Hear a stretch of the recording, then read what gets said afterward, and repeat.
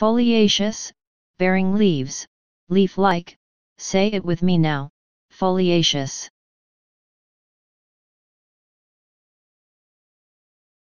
Please subscribe and thanks for watching.